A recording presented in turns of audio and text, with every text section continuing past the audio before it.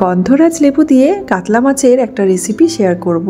খুব সহজেই এই রেসিপিটা বানিয়েও নেওয়া যায় আর গরমকালে দুপুরে খাওয়ার জন্য একদম স্বাস্থ্যকর একটা রেসিপি আর ব্রেকফাস্টে বানিয়ে নিয়েছিলাম চিড়ে সুজি আর দই দিয়ে চিলা চলুন আজকের রেসিপিগুলো আপনাদের সাথে শেয়ার করি। সবার আগে আমি বানিয়ে নিচ্ছি আলুর তরকারিটা। এখানে আমি আলুটাকে সেদ্ধ করে নিয়েছিলাম আগে থেকেই। কড়াইতে দিয়ে দিলাম খুব সামান্য সর্ষের তেল আর পাঁচ ফোড়ন দিয়েছি। এক এক করে আমি দিয়ে দিচ্ছি কাঁচা লঙ্কা কুচি, পেঁয়াজ কুচি আর টমেটো কুচি। পেঁয়াজ, টমেটো আর কাঁচা লঙ্কাটাকে ভালো করে একটু নেড়ে চেড়ে নেব। খুব বেশি লাল করে এটা ভাজতে হবে না, হালকা একটু নেড়ে চেড়ে নেওয়ার পরে গুঁড়ো মশলাগুলো আমি এক এক করে দিয়ে দেবো। প্রথমে দিয়ে দিচ্ছি হলুদ আর হাফ চামচ করে আমি দিয়ে দেবো জিরে গুঁড়ো আর হাফ চামচ ধনে গুঁড়ো।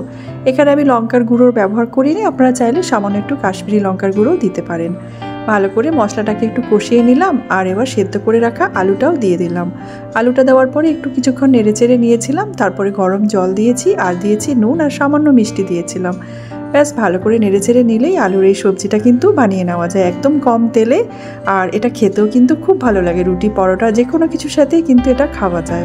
এবার আমি চিড়ে আর সুজির চিলাটাও বানিয়ে নিচ্ছি। এখানে আমি দিয়ে দিয়েছি এক বাটি করে চিড়ে, সুজি আর দই। সব কিছু সম পরিমাণেই দিয়েছি। আর স্বাদ মতো নুন দিয়েছিলাম আর তারপরে এটা আমি মিক্সিতে একদম স্মুথ একটা পেস্ট করে রেখে দিয়েছি। কিছুক্ষণ ওটা আমি রেস্টে রেখে দেবো। এদিকে আমি দুপুরে খাওয়ার জন্য আজকে একটু টক ডাল বানাচ্ছি। তো মটর ডালটা ভিজিয়ে রেখে দিয়েছিলাম। ওর মধ্যে আমি কেটে রাখা আম, তারপরে কাঁচা লঙ্কা কুচি, সামান্য একটু নুন আর হলুদ দিয়েছি। আর কুকারে আমি সর্ষের তেলটা গরম করে নিয়েছিলাম আর এখানে দিয়ে দিয়েছি সর্ষে আর শুকনো লঙ্কা ফোড়ন। এবার আমি ডালটাও দিয়ে দিলাম আর একই সাথে দিয়ে দিলাম জল। ঢাকনাটা বন্ধ করে দুটো সিটি দিলেই কিন্তু টক ডালটা হয়ে যাবে। এদিকে আমার চিড়ের যে ব্যাটারটা ছিল, বেশ কিছুক্ষণ রেস্টে রাখা হয়েছিল।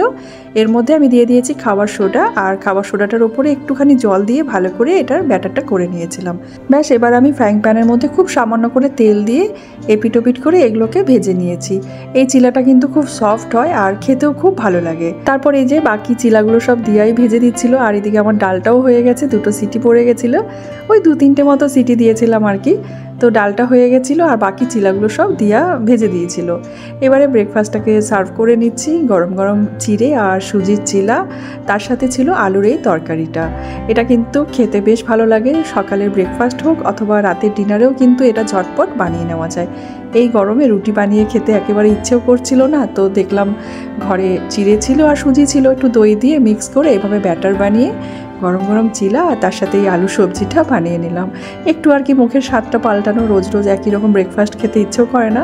যদিও এই কয়েকদিন এই গরমে মানে ব্রেকফাস্ট সেভাবে কিছু বানানো হচ্ছিল না, ছাতু মুড়ি অথবা দই চিড়ে এসবই খাওয়া হচ্ছিল, তো ভাবলাম আজকে একটু মুখের স্বাদটা পাল্টানোর জন্য একটু ব্রেকফাস্টে আর কি এই চিলাটা বানিয়ে নিই, তো বেশ ভালোই লাগল খেতে। আর তারপরে কয়েকটা বাসন ছিল আর কি বেসিনের মধ্যে, ভাবলাম একেবারে বাসন ধুয়ে রান্নাঘরটা গুছিয়ে নিই। কারণ ডাল আর ভাত তো হয়ে গেছে মানে টক ডাল আর ভাতটা করে নিয়েছি। এবার শুধু মাছটা ভাপা করব। তো কালকে যে ফ্রিজে মাছগুলো রাখা ছিল, সেগুলোই রান্না করব।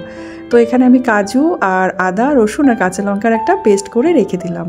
ব্যাস, হয়ে গেছে রান্নাঘর। আমি একদম পরিষ্কার করে নিয়েছি আর ডালটা গ্যাসের উপরেই বসানো আছে। তিনটে সিটি দিয়ে আমি কুকারটা মানে গ্যাসটা আর কি অফ করে রেখেছি।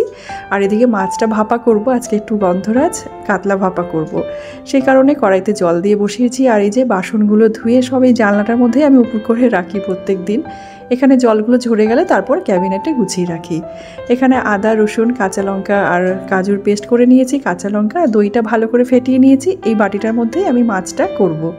আর কালকের মাছ ছিল, নুন হলুদ মাখিয়ে ডিপ ফ্রিজে রাখাই ছিল, তো এখান থেকে চার পাঁচটা মাছ রান্না করব। আর এই যে গন্ধরাজ লেবুগুলো আমি এভাবে স্লাইস করে কেটে নিয়েছি। আর এদিকে জলের বোতলগুলো ধুয়ে রেখেছি, একটু খাবার জলও ভরে রাখব ফ্রিজে চলুন এবার মাছের রেসিপিটা আপনাদের সাথে শেয়ার করি। এখান থেকে আমি কয়েক পিস মাছ আমি এই বাটিটার মধ্যে নিয়ে নিচ্ছি, এই বাটিটাতেই ভাপাটা করব। আর আদা, রসুন, কাঁচা লঙ্কা আর কাজু বাদামের যে পেস্টটা ছিল সেটা দিলাম। তারপরে ফেটিয়ে রাখা দইটা দিলাম আর দিলাম গন্ধরাজ লেবুর রস। অল্প কিছুটাই দিয়েছি, রসটা খুব বেশি দেবো না, নুন আর মিষ্টি দিয়েছি টকের ভাবটাকে একটু ব্যালেন্স করার জন্য, একটু মিষ্টি দিতে হবে। আর দিয়েছি সর্ষের তেল। বেশ ভালো করে এগুলো একসাথে হাত দিয়ে মেখে নিচ্ছি। এবার আমি লেবুর ওপরে যে স্কিনটা থাকে সেটাকে হালকা করে আমি একটু ঘষে দিয়ে দিলাম। খুব বেশি কিন্তু দেবো না, তাহলে কিন্তু মাছের এই টেস্টটা পুরো তেতো হয়ে যাবে। একদম হালকা হাতে এটা ঘষে খুব সামান্যই দিতে হবে। আর ওপর দিয়ে আমি এভাবে গন্ধরাজ লেবুর স্লাইসগুলো সাজিয়ে দিলাম আর দিয়ে দিলাম কয়েকটা কাঁচা লঙ্কা। কাঁচা লঙ্কাটা আমি চিড়ে দিইনি আর এভাবে এটা রেডি হয়ে গেছে আর ওপর দিয়ে আমি দিয়ে দিচ্ছি আরও এক চামচ সর্ষের তেল। ঢাকনাটা বন্ধ করে নিচ্ছি আর কড়াইতে তো আগে থেকেই আমি জলটা গরম হতে বসিয়ে রেখেছিলাম আর একটা স্ট্যান্ডের উপর এভাবে পাটিটা বসিয়ে দিলাম। এদিকে আমার টক ডালটাও রান্না হয়ে গেছে। ডালটাকে সার্ভ করে নিচ্ছি আর মোটামুটি আমি তিরিশ থেকে পঁয়ত্রিশ মিনিট মাছটাকে মিডিয়াম আছে ভাপিয়ে নিয়েছিলাম। তিরিশ পঁয়ত্রিশ মিনিট পর আমি ওইভাবে গ্যাসের উপরে বসিয়ে রেখেছিলাম। গ্যাসটা অফ করার পরে তারপরে একেবারে যখন ঠান্ডা হয়ে গেছে ঢাকনাটা খুলে নিয়েছি। এই গরমকালে কোনো রকম ঝোল, ঝাল এসব কিন্তু খেতে ভালো লাগছে না। তো সেই কারণে মাছটাকে আমি এভাবেই রান্না করলাম। আর একটু আলু ভর্তা করে নিয়েছি, পেঁয়াজ, কাঁচা লঙ্কা, একটু টমেটো দিয়ে আলুটাকে মেখে নিয়েছি ডালের সাথে খাওয়ার জন্য। আর এই যে মাছটাও রেডি হয়ে গেছে, দুপুরে রান্নাবান্না এই বেলার মতো কমপ্লিট আবার রাতে দেখি কি রান্না করা যায়। তো এবার লাঞ্চটাকে আমি সার্ভ করে নিচ্ছি, ভাত নিয়ে নিয়েছি, তার সাথে একটু লেবু নিয়েছি। যদিও টক ডাল বানানো হয়েছে, তবুও আমার গন্ধরাজ লেবুর মানে ফ্লেভারটা আর গন্ধটা এত ভালো লাগে না, তো ওই ডালের সাথে একটু মেখে খাওয়ার জন্য পাতে একটু নিয়েছি লেবু আর কাঁচা লঙ্কা। লাঞ্চটাকে সার্ভ করে নিলাম গরমকালে খাওয়ার জন্য একেবারে হালকা পাতলা রান্না করা হয়েছে আজকে, আর ডালের সাথে এই আলু ভর্তাটা আমার খুব প্রিয়। সত্যি কথা বলতে এটা হলে আর কিছুই প্রয়োজন পড়ে না, আর একটু করে লেবুর রস দিয়ে খুবই ভালো লাগছে খেতে, আর এই যে গন্ধরাজ কাতলা ভাপা, এটা তো অসাধারণ লাগছে। গরমকালে খাওয়ার জন্য একেবারে হালকা পাতলা রান্না আর বেশি তেল মশলা, বেশি রিচ খাওয়ার কিন্তু এই গরমে একেবারেই খেতে ইচ্ছা করছে না। আর সত্যি কথা বলতে রান্না করতেও ভালো লাগছে না বেশি। তো এবার দিয়া দিশাকে নিয়ে লাঞ্চটাও সেরে নেব আর আজকের ব্লগটাও এখানে শেষ করব। ব্লগটা কেমন লেগেছে কমেন্টে জানাতে ভুলবেন না। আপনাদের কমেন্টের অপেক্ষায় থাকলাম প্রত্যেক দিনের মতনই। দেখা হবে আবার নতুন কোনো ব্লগের সাথে। আপনারা সবাই খুব ভালো থাকবেন, সুস্থ থাকবেন। ধন্যবাদ।